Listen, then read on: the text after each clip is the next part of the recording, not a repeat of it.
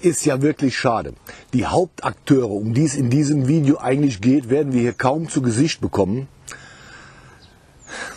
Ich kann Ihnen schon sagen, es gibt komische Vögel auf der Welt. Vögel ist das Stichwort, um die geht's in diesem Video. Ich habe den Nico neben mir und der Nico kennt sich wirklich mit Vögeln aus. Der ist Biologe, Ornithologe oder wie man das auch immer heißt. Und in diesem Video behandeln wir mal, welche Möglichkeiten der Hobbygärtner und natürlich auch der Naturschützer, welche Möglichkeiten der hat, der heimischen Vogelwelt und dem Garten vielleicht ein bisschen Nutzen zu verschaffen. Bleiben Sie mal dran, das wird spannend.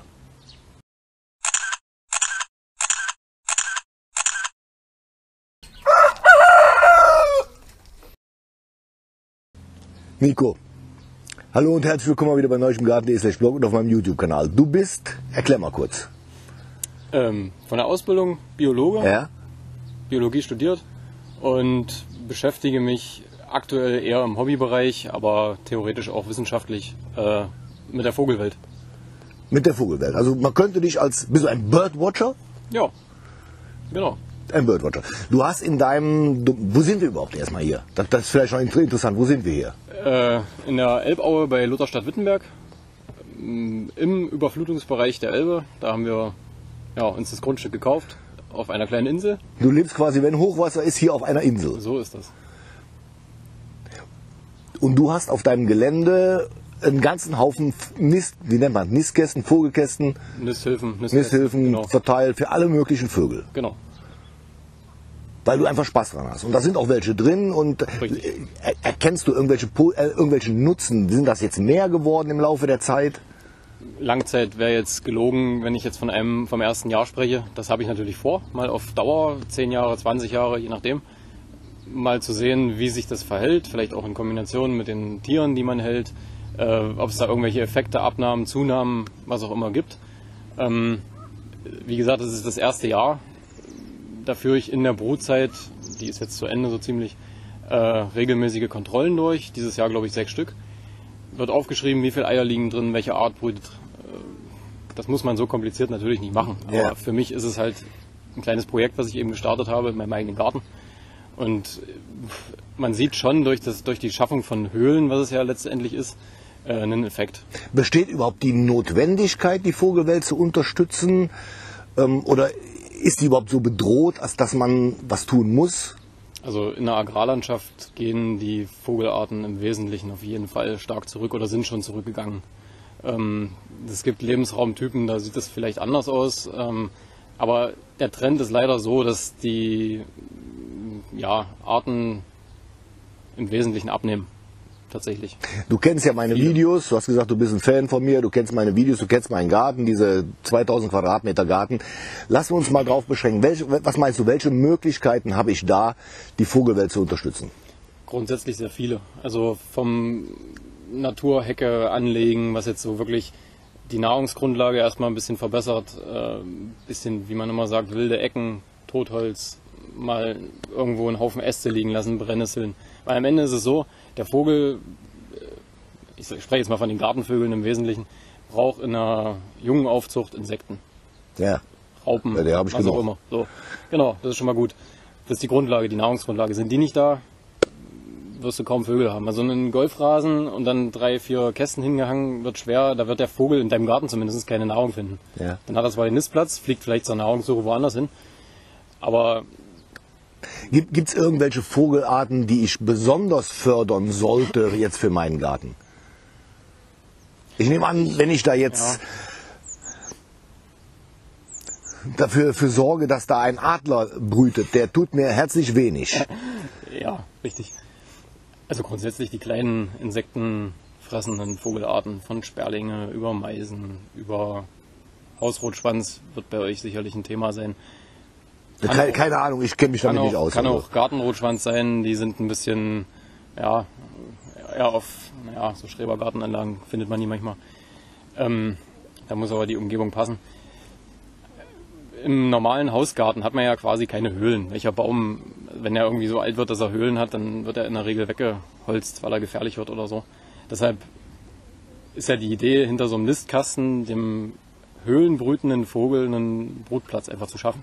Wobei du mir eben auch erzählt hast, nicht alle Vögel brüten in Höhlen. Richtig. Es gibt Vögel, die kann ich gar nicht Genau. ähm, bewusst anlocken, sondern da, die, die brüten auf der Erde oder dergleichen. Genau, genau. Also manchmal wird man gefragt nach Rotkehlchen, Kästen. Gibt's nicht. Also die brüten halt im Buschwerk bodennah, sagen wir mal, bauen ihr eigenes Nest, schlichtweg. Die gehen nicht in so einen Kasten. Wahrscheinlich meinen die meisten auch Rotschwänzchen. Das ist dann der kleine oder feine Unterschied. Ähm, die brüten beispielsweise in Halbhöhlen. Da ist der Kasten mit so einem ganz breiten Schlitz versehen. Halbhöhlenbrüter. Gibt's extra Kästen für. Brütet auch die Bachstelze drin und gibt's alles Mögliche. Ja, und sonst kann man das ein bisschen variieren durch die Lochgröße. ja. Also, ich glaube, der da oben ist gerade ein 32 mm Kasten. Wenn ich, wenn ich mit Wer soll sich da drin wohlfühlen? Haussperling. Äh, Feld, Entschuldigung, Feldsperling. Und äh, Meisen, fast alle passen da rein. Ja, das ist schon das, das Hauptsächliche, was ich mit so einem Kasten anlocke eigentlich. Die kleineren, da gibt's 28 mm Kästen, da gehen dann wirklich nur Blaumeise, Haubenmeise in dem Lebensraum, die würde hier nicht vorkommen, aber ja, so ganz kleine Arten. Also da kann man schon ein bisschen selektieren durch die Ja. Lochgröße, sagen Ja. Nico, jetzt stell dir mal vor, ich wollte jetzt helfen. Ich nehme mir so ein paar Bretter, mach so Genau. Ähm, Bauten, da, Höhlen da draus. Ähm, oder warum benutzt du diese, wie hast du gesagt, was ist das? Das ist Holzbeton. Holzbeton. Warum diese? Ähm, Langlebigkeit. Ich habe ja das Projekt angelegt auf, in der Hoffnung, dass es äh, alles so lange funktioniert, auf, sagen wir mal, 10, 20 Jahre. Die Dinger halten, wenn nichts dazwischen kommt, auch mal 30 Jahre. Ich habe einfach keine Lust, bei über 100 Kästen, die hier hängen, äh, alle fünf Jahre 100 neue Holzkästen zu bauen. Das geht dann irgendwann einfach. Also du hast gesagt, es variiert über die Lochgröße. Was gibt's noch für verschiedene Möglichkeiten? insgesamt die Brutraumgröße. Also die müssen erstmal eine kleine eine, eine Grundgröße haben. Da gibt's aber auch, wenn man das selber bauen möchte, Anleitungen für. Die Teile hier, die sind alle genormt quasi. Das hat man ausprobiert, was das Perfekte ist. Ja. Ähm, da gibt's Anleitungen im Internet zuhauf. Von Nabu sehr Du, gute. du schickst mir ein paar Links zu, die Genau. sind unten in der Beschreibung drin. Genau, genau. Das machen wir so. Oder eben diese Holzbetonkästen. Firma Schwegler ist ganz groß, da gibt's noch ganz andere. Etliche. Was hast du noch für Tiere hier? Was hast du noch für Kästen? Hast du noch irgendeinen anderen? Äh, Ja, du hast ja 120 Stück hier, das weiß ich, aber Genau. irgendwas, was jetzt von diesem traditionellen Kasten hier abweicht. äh, was vielleicht ein bisschen was anderes ist. Wiedehopf, Brutröhre. Okay, wo ist einer? Geh mal hin. Geh mal hin. Äh, da hinten. Da hinten. Mitkommen. Was ist denn der Wiedehopf für ein, für ein Vogel? Ich habe noch nie einen, also bewusst keinen gesehen.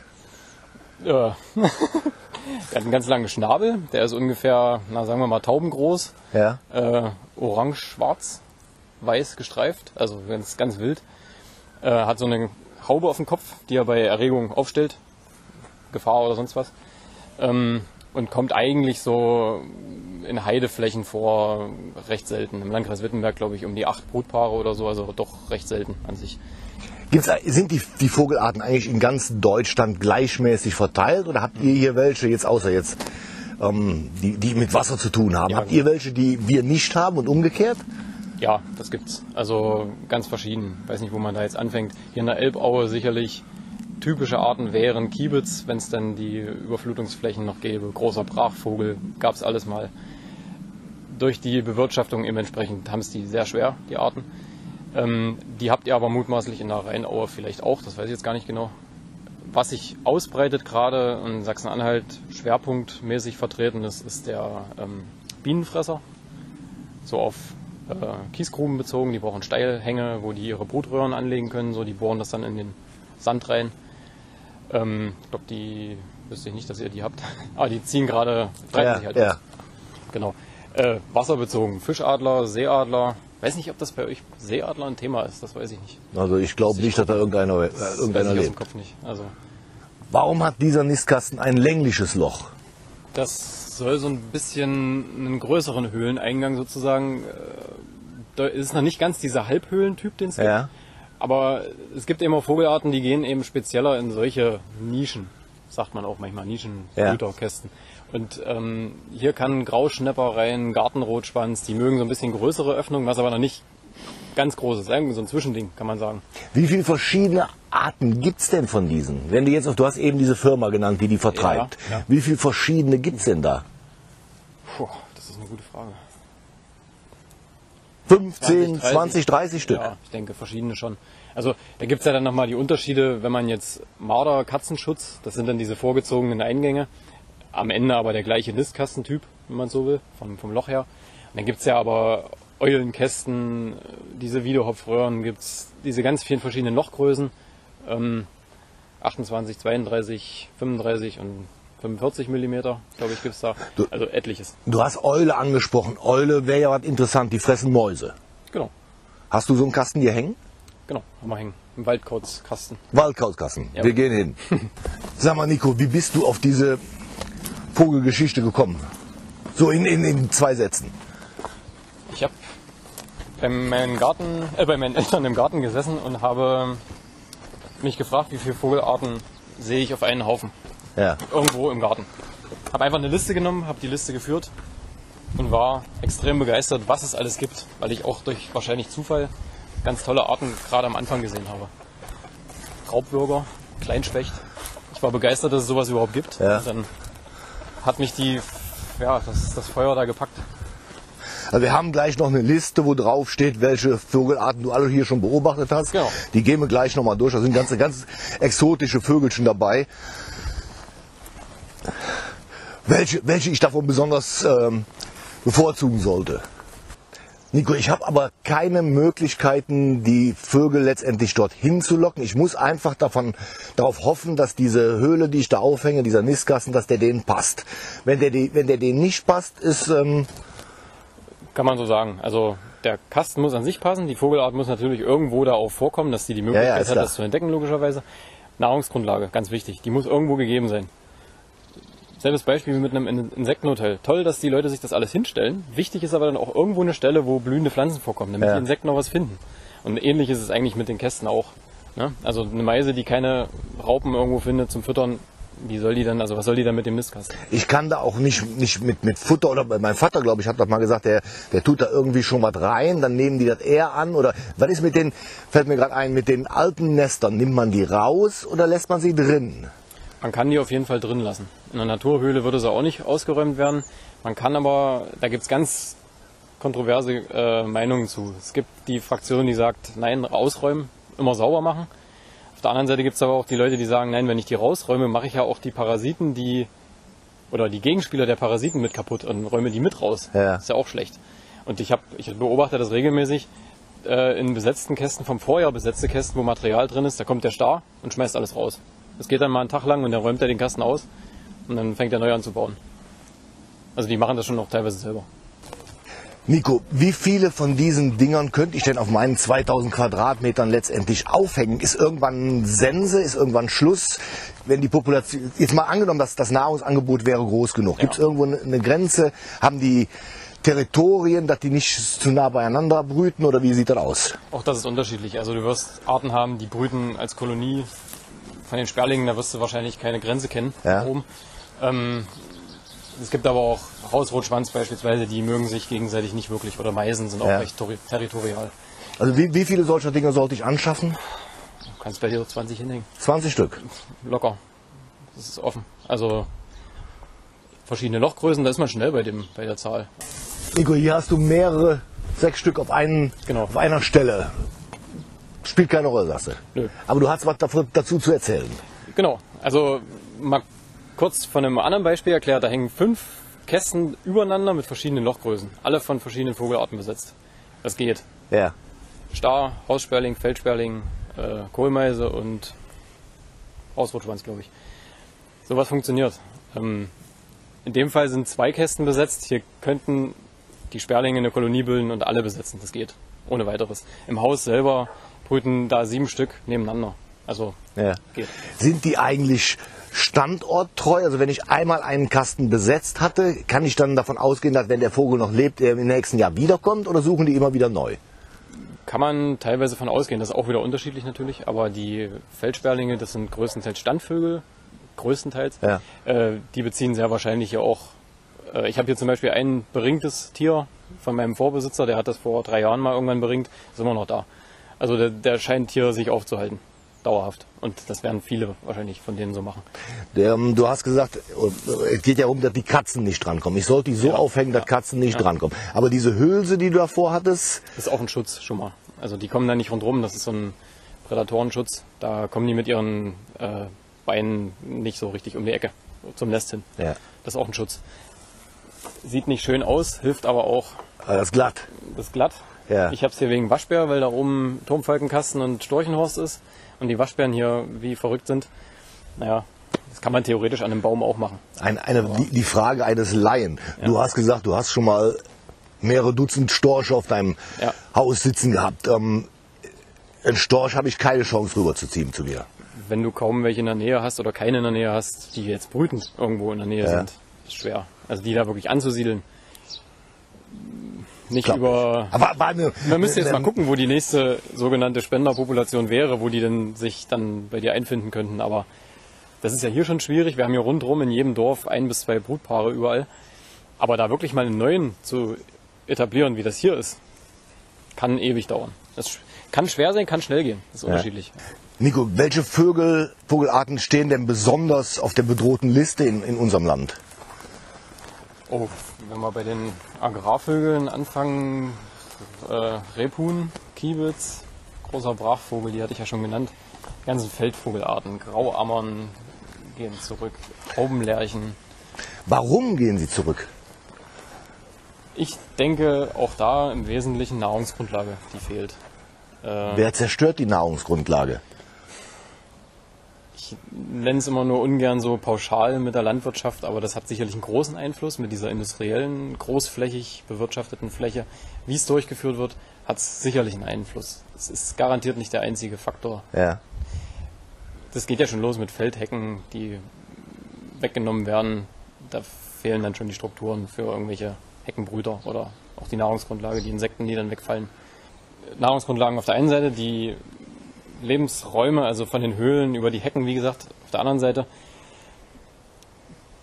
Und einfach diese großflächige Bewirtschaftung, die den Tieren gar nicht die Möglichkeit gibt, überhaupt auszuweichen. Wenn ich jetzt nur vor meiner Haustür hier die Wiesen sehe, die auf, weiß ich nicht, wahrscheinlich hunderte Hektar an einem gleichen Tag gemäht werden, wo soll da ein Schmetterling von A nach B die nächste Nahrungspflanze finden?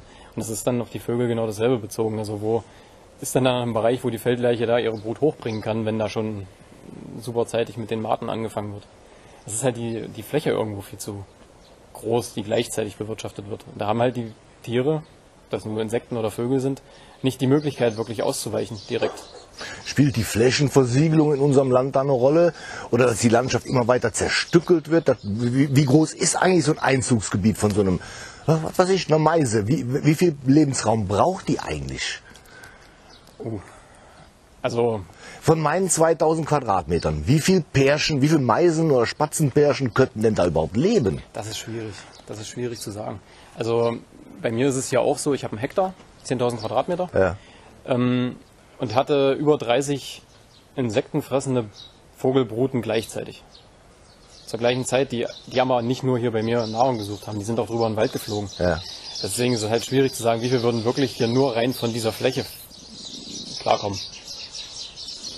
Die fliegen ja immer weiter. Die halten sich ja nicht an irgendwelche Grenzen, jetzt Grundstücksgrenzen oder so, auf. Also das ist schwierig zu sagen. Äh, ja, aber da sagt man ja beispielsweise, dass Meisen, da wirst du kaum deutlich mehr als zwei Paare, schätze ich mal, in deinem Garten haben können, weil die so territorial sind.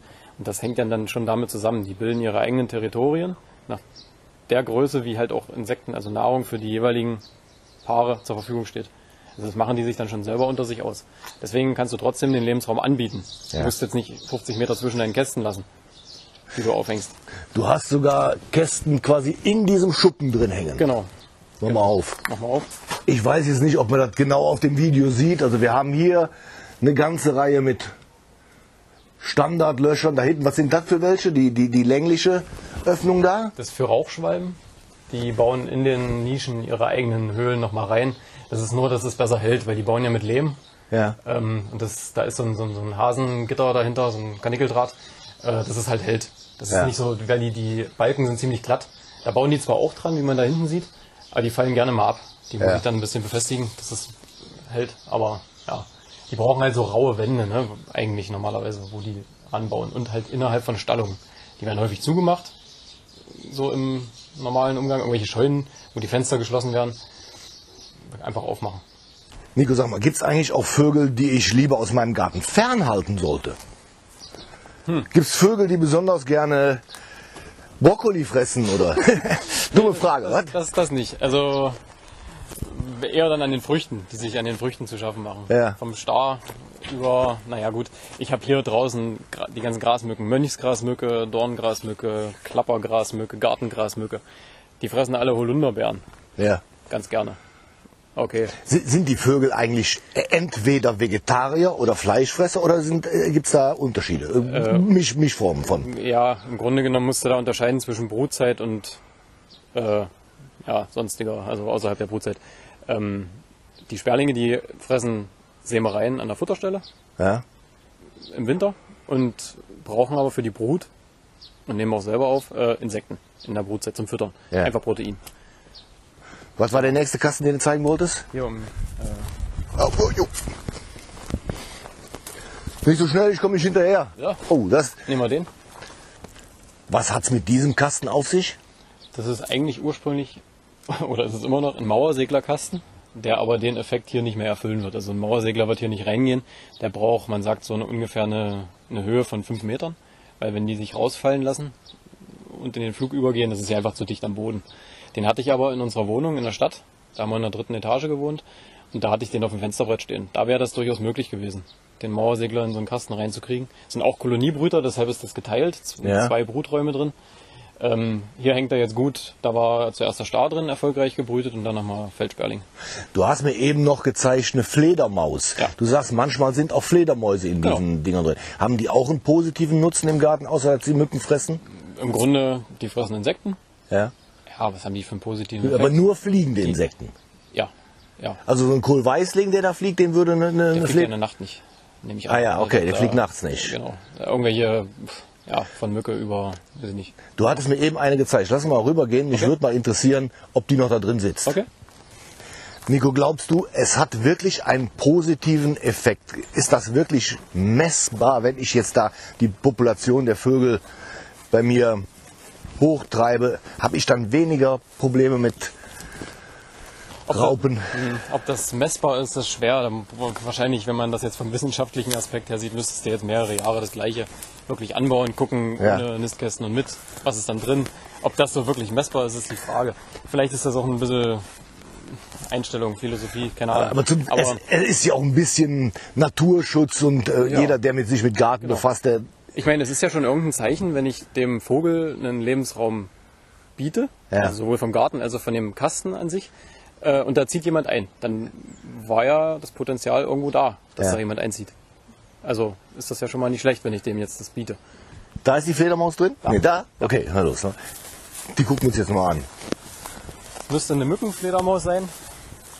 Waren sogar mehrere drin. In einem alten Wespennest. Ja, tatsächlich. Hey Kameramann, halt das Ding mal da oben drauf.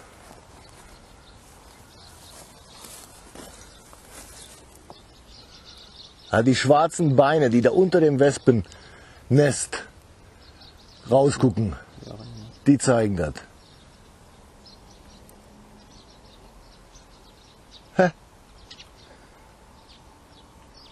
Ist eine Sache, habe ich mir noch nie so wirklich Gedanken drum gemacht. Ähm, Insektenhotels anzulegen, ist ja eine, eine gängige Praxis. Aber jetzt wirklich in nennenswertem Stil hier Vögel zu unterstützen, hatte ich mir nicht, hatte ich nicht auf dem Schirm. Muss ich umsetzen. Thema Fütterung hatten wir doch gar nicht angesprochen. Du hast da hinten eine, eine große Futterstelle stehen. Da gehen wir jetzt nochmal rüber. Okay. Was ist mit, mit Raubvögeln? Ich habe gehört, Elstern fressen auch gelegentlich schon mal junge Vögel. Genau. Ähm, wer, wer, ist noch, wer kommt noch in Betracht? Diese Raben oder ja, Krähen generell, oder was? Genau, generell Krähenvögel, die sind rein von der Biologie darauf ausgelegt. Da schlüpfen die Jungen oder, oder andersrum, die werden Flügge in dem Alter, wenn die anderen Kleinvögel ihre Jungen haben, sodass die eben da eine gute Nahrungsgrundlage haben. Das ist halt einfach so. Ich hatte hier auch ein Elsternpaar, die haben vier Junge rausgebracht. Klar haben die auch mal Schwalbennester ausgeräumt oder irgendwas anderes Ich, ich habe hier, hier regelmäßig Entengelege und da sind immer sechs, sieben, acht, neun, zehn Eier drin und am nächsten Tag sind die weg. Und ich bin mir immer noch nicht im Klaren darüber, wer die, wer die wegräumt. Können das wirklich Elstern oder Krähen oder sowas sein? Da würde ich eher ein Raubtier im Sinne von äh, Säugetier, also sprich Marder, Ja. vielleicht Waschbär, ich weiß nicht, wie das bei euch aussieht, aber Ja, habe ich noch keinen gesehen. Marder. Gott verdammt. Ja, Nico, Thema Fütterung. Du fütterst das ganze Jahr über durch. genau. Ich füttere, habe eine Ganzjahresfütterung. Wobei du mir aber gesagt hast, es gibt Untersuchungen, dass es weder positiv noch negativ ist. Ja, auf jeden Fall ist es ja nicht schlecht, wenn es keinen negativen Effekt hat und die nehmen es an. Das ist rund ums Jahr. Aber Ich könnte mir vorstellen, für einen Vogel ist es einfacher, an den Futterkasten zu fliegen, als bei mir im Garten nach irgendwas zu suchen. Ja, weiß ich nicht. Also wenn die in deinem Garten genug äh, Raupen finden, dann nehmen die die bevorzugt. Da würde ich verwetten, dass die eher die Raupen nehmen. Das Ja. ist tatsächlich natürlich vorkommende halbwegs, ähm, als jetzt die Fütterung an sich. Aber das schwankt auch. Also es sind mal, die Meisen sind manchmal gar nicht da. Äh, Auch über Monate nicht. Was Also fütter ich? Sollte ich wirklich auf die gekauften Meisenknödel zurückgreifen? Da oder? muss man aufpassen. Also da gibt's hauptsächlich, wenn du jetzt wirklich in der Brutzeit füttern möchtest, Insekten, also ich Insekten angereicherte, sage ich mal, da sind meistens irgendwie Mehlwürmer oder so drin. Ähm, das habe ich hier als Knödel, dieser Knödelring, äh, wo eben Insekten mit drin sind, weil die eben gerade in der Brutzeit auch Insekten mit verfüttern.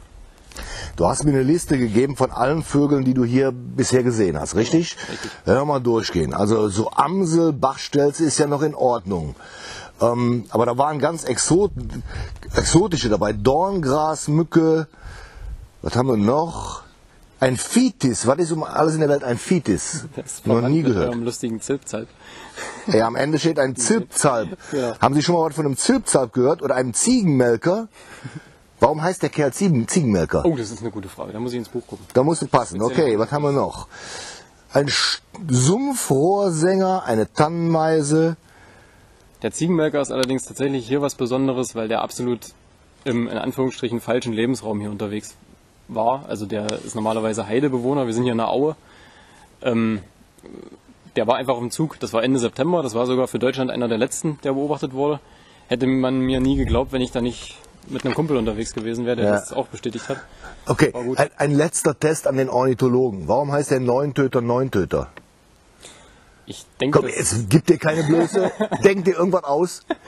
ich würde sagen, das liegt an seiner Art zu jagen. Die spießen die erlegten Käfer oder auch teilweise kleine Mäuse. Bis dass sie neun. Stück auf dem Spar- Schnabel haben. Vielleicht, und dann sind sie zufrieden. Alles geht. Auf jeden Fall eine interessante Angelegenheit. Ähm, ich werde mir das mit Sicherheit vornehmen, etwas in die Richtung zu unternehmen.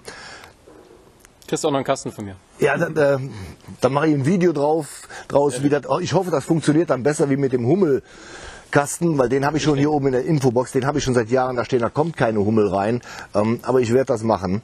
Ähm, Das ist sicherlich die Ausrichtung auch immer eine Sache. Ne? Also wohin ist das Flugloch ausgerichtet? Südost. Nicht in die knalle Sonne ist immer, das ist eigentlich nicht besonders sonnig da. Ähm, Ja. Aber es ist, muss man eben immer gucken. Das es ist, es ist Natur. Es, man, man kann sie nicht planen, stimmt's? so ist das, genau. Und am Ende ist es so, je mehr Kästen du hängst, je größer ist die Auswahl für die Vögel und die suchen sich schon das Passende raus. Du weißt, wie meine Videos enden? Ja. Ähm, jetzt ging das ja um Vögel. Hast du nicht so ein bisschen ausgepresste Meise oder sowas für mich? nee, so weit sind wir noch nicht. So weit sind wir noch nicht. War ein Scherz. Eierlikör. Ja? Nein. Ah, ja, okay, das, das wäre ja noch was. Eierlikör. Isst du eigentlich ähm, Hühnchen, wo du so ein, so ein Vogelfan bist? Ja, schon. Ich habe ja auch meine eigene paar Hühner. Nee, aber du hast was von, für mich.